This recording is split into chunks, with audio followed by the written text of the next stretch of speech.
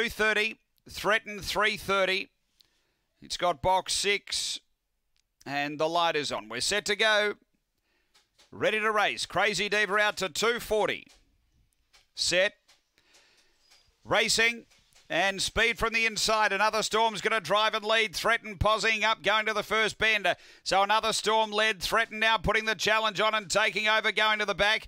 Uh, then came Like a Librarian, the inside Yandera Evie. Uh, next is Dia Ride Fire from Power Stone, Crazy Diva. And Patrick Francis off the back. The leader is threatened away by three. Over another Storm and then came Like a Librarian and Yandera Evie, but straightening. Threaten clear. Over another Storm and threatened too good.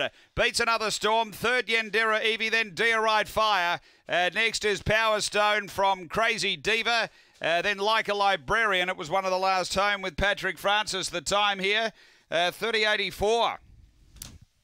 After the running of race number six, uh, well backed number six, Threaten, has been too good.